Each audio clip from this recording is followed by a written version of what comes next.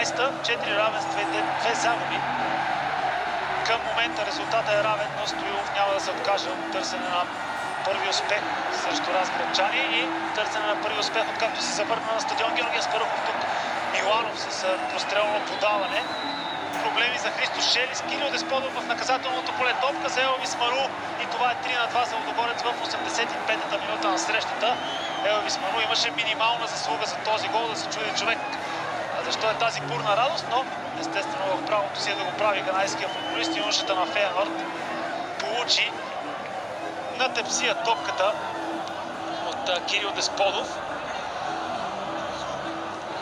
Николай Михайлов се отказа от по-точния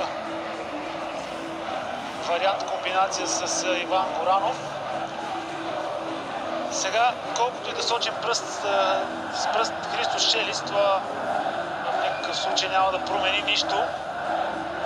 Колкото е виновен кипъреца, толкова е виновен Николай Михайлов, че при положение, че връхлитаха трима футболисти към Шелис, без той да ги вижда, отправи една не кой знае колко удобна топка.